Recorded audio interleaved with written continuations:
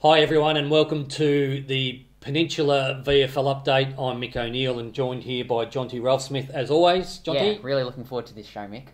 So, for the first uh, seven or eight episodes we've had of the VFL update, obviously we've had a pretty close focus on the Frankston Dolphins, and great to see them going well at five wins and four losses. But what we wanted to do with this show was to take a broader look at the VFL and particularly players from MPNFL clubs who are plying their trade at VFL clubs across the competition. And we'll also look at those players who are listed at MPNFL clubs and at NAB League clubs, particularly the Dandenong Stingrays, who are doing some special things. So I'm looking forward to this. We do preface this by saying we've done our research based on the final list that was submitted for both sides uh, for both competitions back in about March this year. So um, if we miss anyone, please let us know in the comments. Uh, and there are some players from MPNFL clubs plying their trade on supplementary lists. Um, we'll try and cover them in a future episode.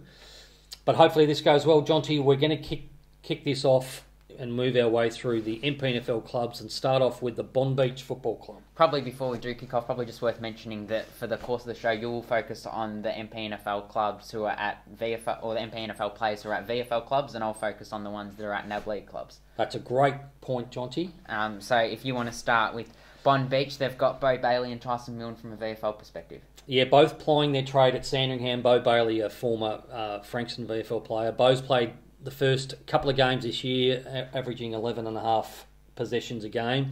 Tyson Milne always one uh, that St Kilda supporters take an interest in, as being the son of famous small forward Stevie. He's had the five games, averaging 14 touches and looking pretty good at the level, I have to say, Jonty. Yeah, well, Tyson Milne, he was one that the last couple of years there's been a lot of press around him, so good to see him going really well at Bomb Bonbeach.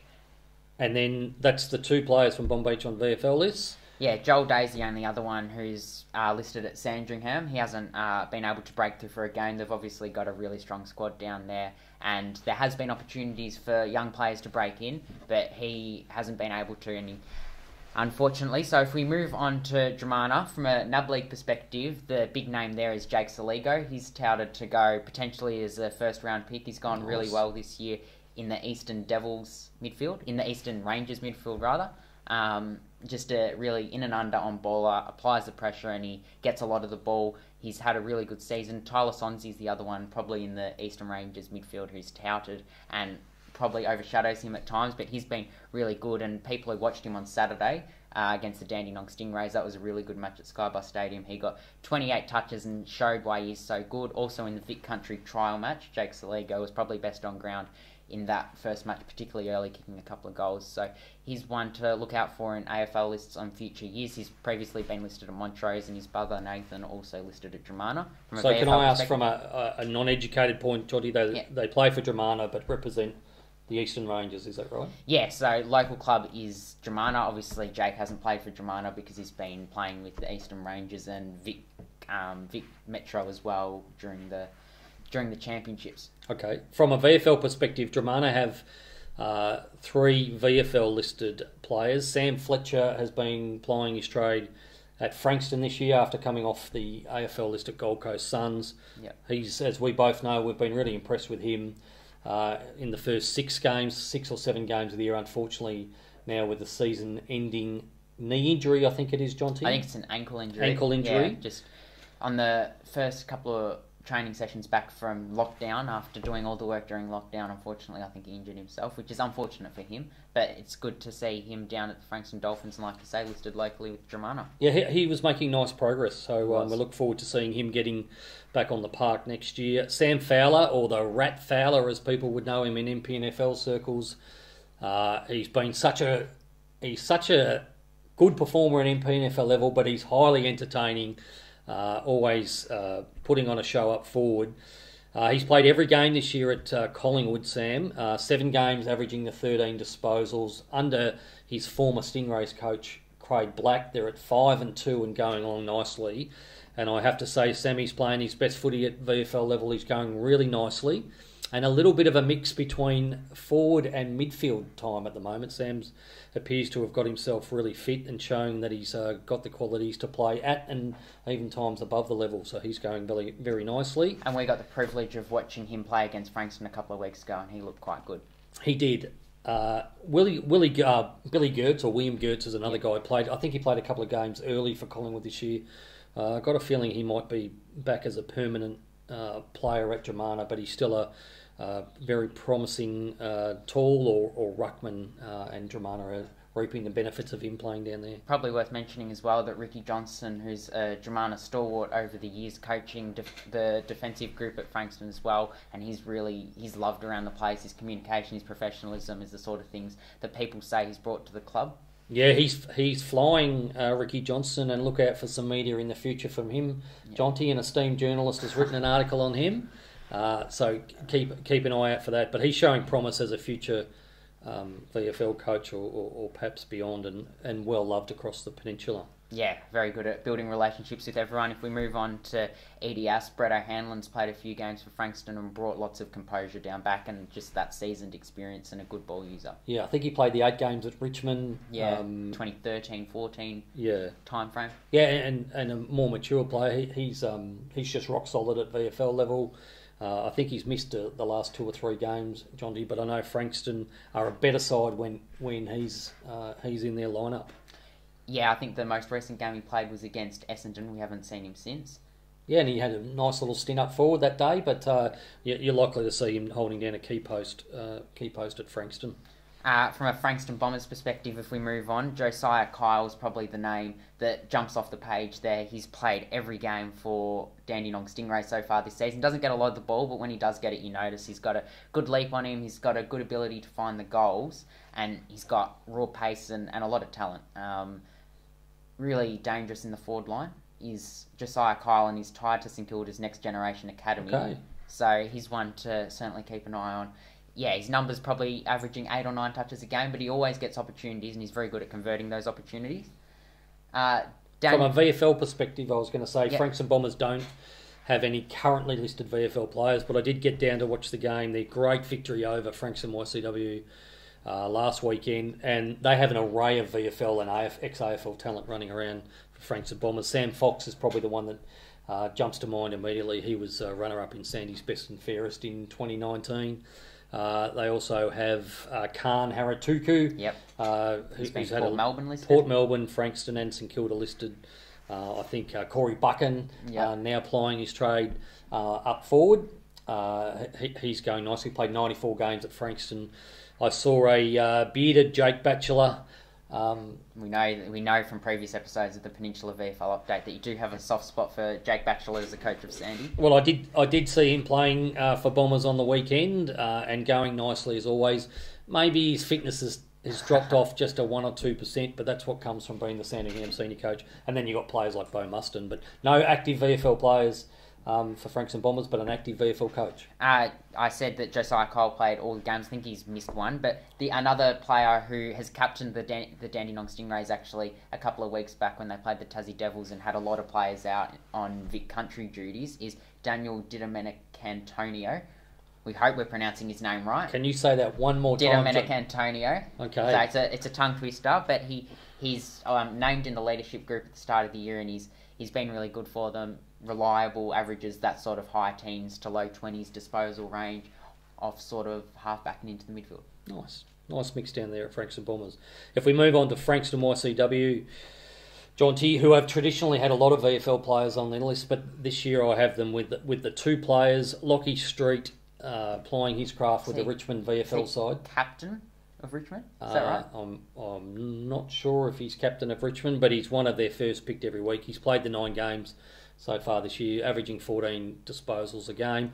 Actually playing as their ruckman the last couple of weeks, which is probably uh, a little bit uh, unnatural for Lockie, but he's doing doing a, a, really really good job, and, and he's just a, uh, a play every week class VFL player at, at the moment, Lockie Street, and people had probably the joy of watching him at Frankston YCW for a strong 18 months, two years as well.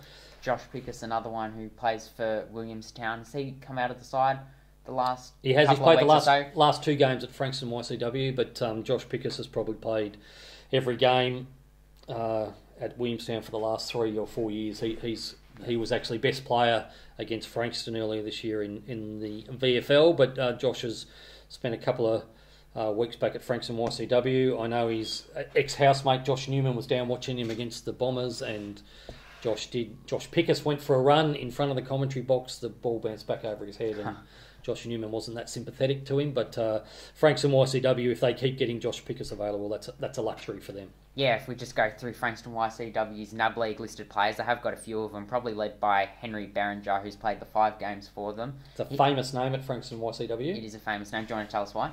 Um, it'd be his father, Mark Beringer, I'm assuming, who, as Peter Sutovich gives us some advice from behind the camera, past uh, leading a game player Yes. in the MPNFL.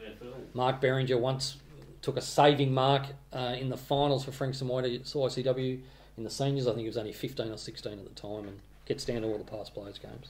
Certainly, from Henry Berenger's perspective, he's a key defender at the NAB League level. Like I say, he's played five games and he's a 19 year old. He was very consistent in his underage year, and there were high hopes of what he could have done last year in 2020. Unfortunately, wasn't able to showcase that. But putting on a bit of size is always good for a key defender. So Nice. now, um, you know, putting some good performances together. He also trained at the Frankston Dolphins in pre season Nice. which would only have been beneficial for him. Hudson Hill, another young key position player uh, out of YCW, he played the one game against Tassie when the Dandenong Stingrays were a little bit weakened by those players that went out. So good. It's a bit of a him. rock star name, that Hudson Hill. I like it. Yeah, the alliteration of it's very nice. Um, And is that does that cover us for NAB League for Frankston a YCW? couple of other players. Zeb Quick's played three games. Um, he's an 18 year old and he's you know sort of coming out of defence um, when he's played and he's gone all right. And Zach Tobin played in the Vic Country trial match, so that speaks to how highly they rate him down at down at the Dandenong Stingrays. Is another key position player at 195 centimetres to keep your to keep your eyes on. That's nice. If we move on to Hastings, there's no current Hastings player playing in the VFL. From a NAB League perspective, Clayton Gay is listed at Hastings, and he was one last year that, uh, probably along with Will Bravo, who we'll talk, talk about later, who was touted as a potential late or rookie pick he for was, the yeah. Dandenong Yeah. Stingrays. Unfortunately, wasn't picked up, and no one from the Dandenong Stingrays was picked up. But I know they promoted him quite heavily. He had a lot of raw talent as a kid. I think he won seven best and fairest for Balnarring Junior Footy Club, and so lots of talent, lots of pace, able to kick a goal. Um, really like oozes talent when you watch him, but he's combined that with hard work in the last few years. Had a reasonable 2019 season, Yep. Um, which is probably why he was uh, someone who was exciting to watch going into 2020. This season he's played three games before getting injured, unfortunately, but he's certainly one of their better players down there when he's available. Clayton Gay. And the 19 year old getting getting that opportunity with, with the wiping out of the 2020 season through COVID. So is he still one to? Is he an outside chance still, Jonty? Draft Uh. I would hope so. I would hope so. Hopefully, he gets back and puts some consistent footy on the park, either as that sort of small sort of forward or even moving up to the ground if he can develop his tank enough. That's nice. If we move on to the Langwarrin Footy Club, who have been going uh, just nicely in the uh, MPNFL this year, uh, undefeated until being knocked off by Somerville a couple of weeks ago.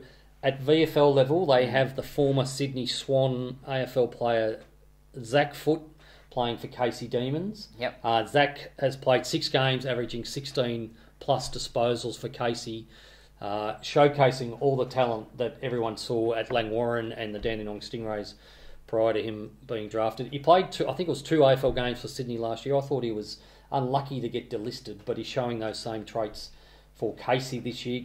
Um, at, I think he's played two games back at Langwarrin this year because Casey have had so many AFL players available and Was it 18 on the weekend or something like that for uh, Casey? yeah, just just a phenomenal run with injury that the Melbourne Footy Club's having, and, and you hear the feedback about how, how well he fits back into the side when he comes. He he, he must be some chance of um, getting another opportunity at AFL level, and he's he's going nicely.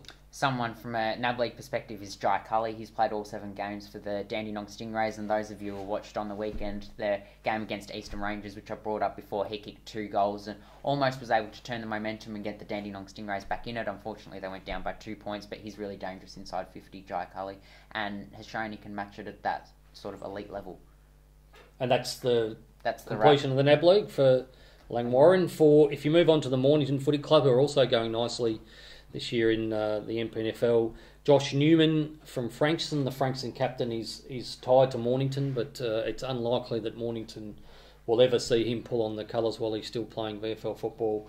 Uh, he is just a rock solid star of the VFL. Uh, his captaincy at Frankston's phenomenal, uh, and his season would probably see him in the top three or four in Frankston's best and fairest yet again. Jonty, you've had the chance to watch him a few times this year. Yeah, I think so. He's really reliable on the ball. He's very efficient, and the leadership he brings to that group is is phenomenal uh, on and off the field.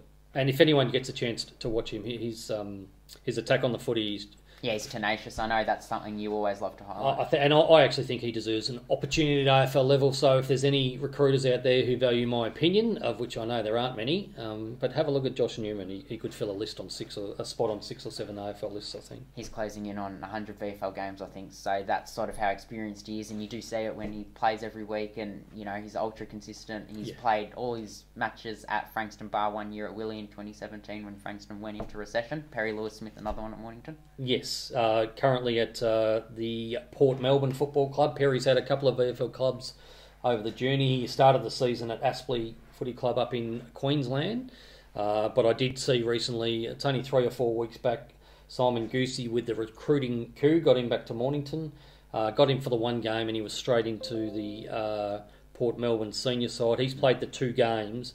Uh, and already, I think he's averaging 18 possessions in those two games, so he's slotted in uh, just seamlessly back into the Port Melbourne team. Sorry, your computer's showing something funny. That's all right. Keep carrying on.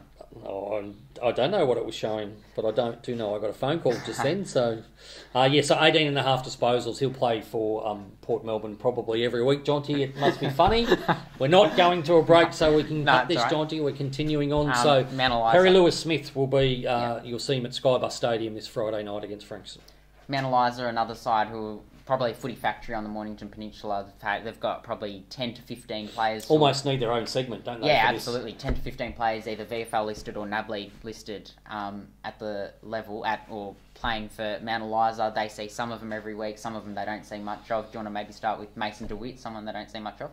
Yes, Mason uh, flying at, at, Box Hill these days. I think he's it might be his third season he's had at Box Hill. He plays every week. Mason uh, those on the peninsula would be fairly mm. familiar with his flowing blonde locks and his yes. left foot coming out of defence. Yep. Uh, he's averaging 19 to 20 possessions a week at, at Box Hill.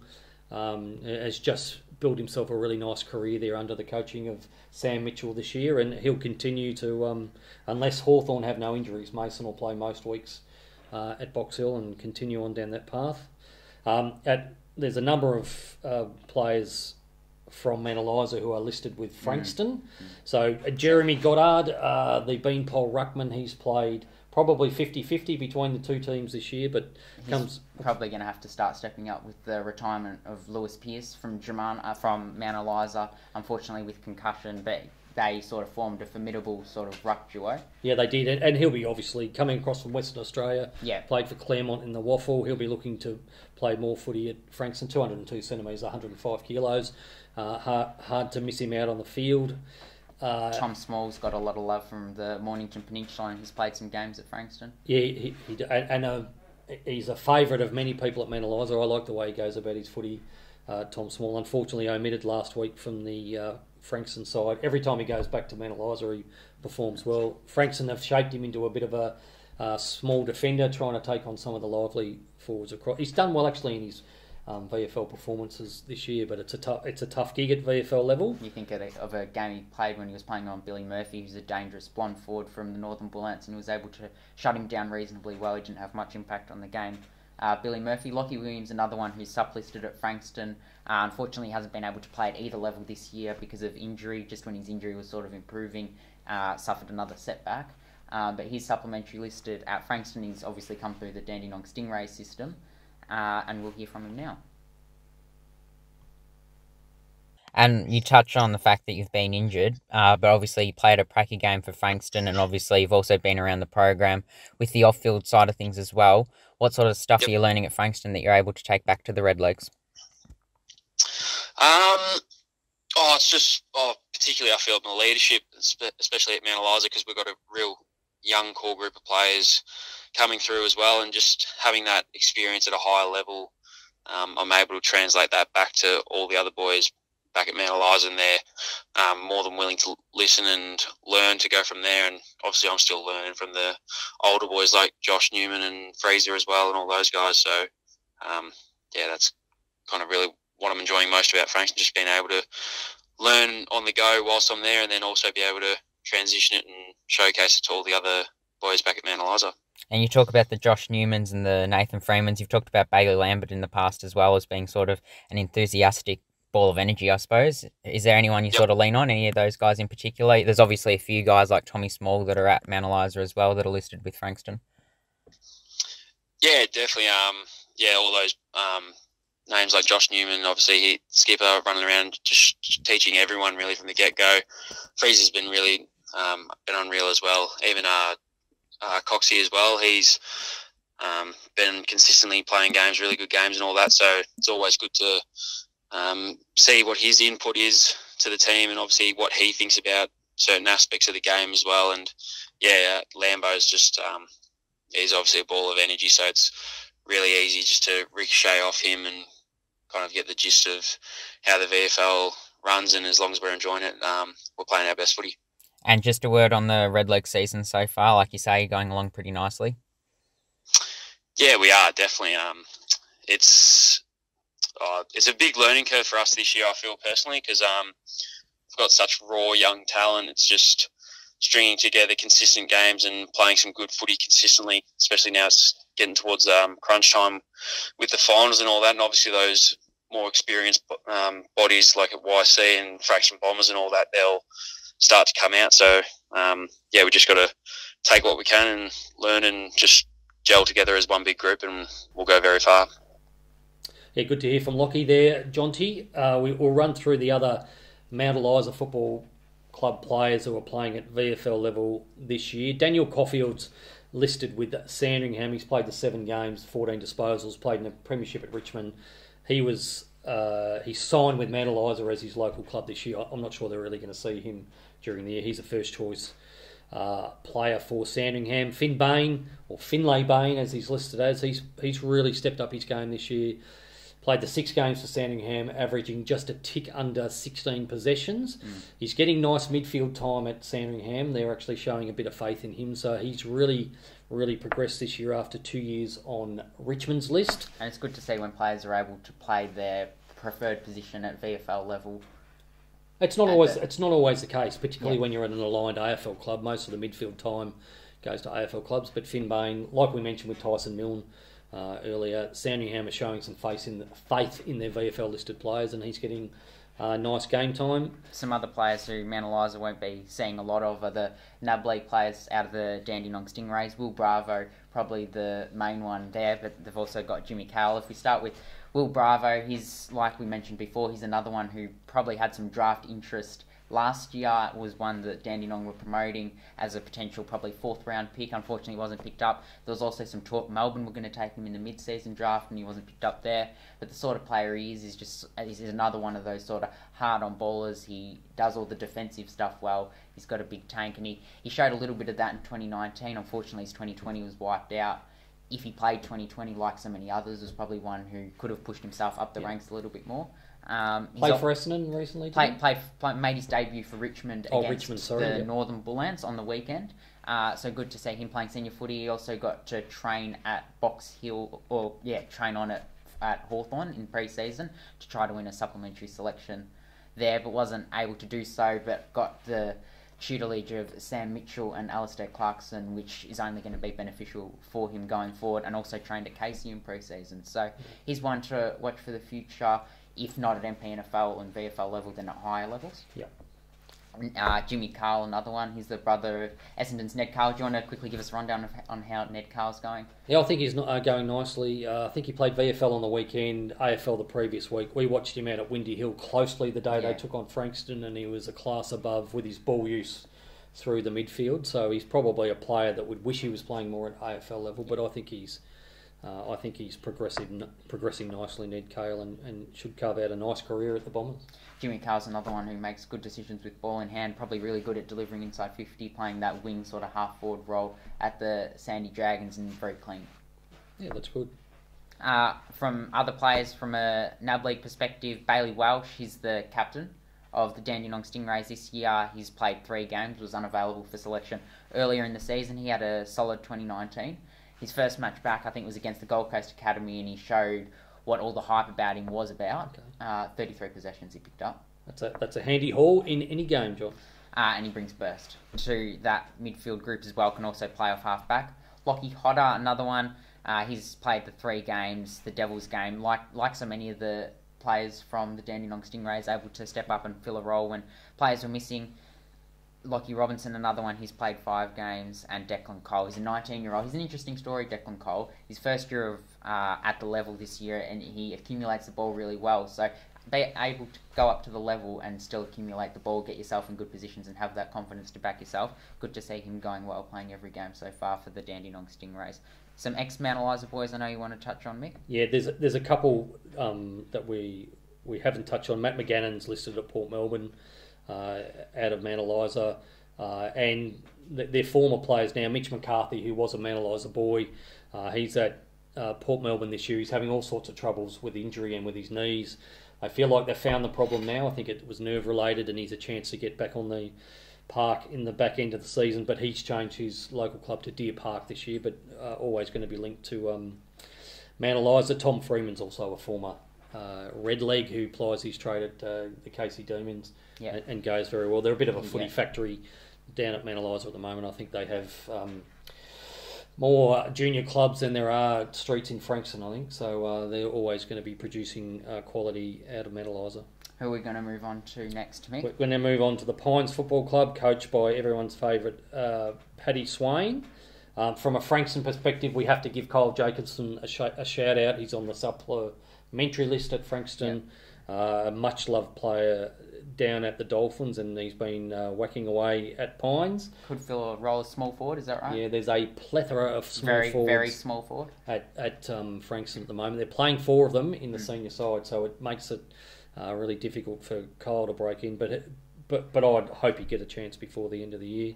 Luke Delmal uh, has played the three games for Sandringham this year, uh, averaging the nine touches a game.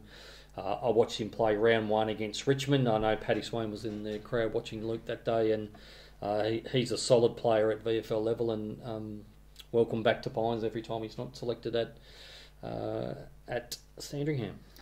no one from a NAB League perspective. Uh, Red Hill we'll move on to next. I know Harry Sullivan plays at the NAB League level. He's played six or seven games for Dandenong, and he just brings elite run, elite running every week.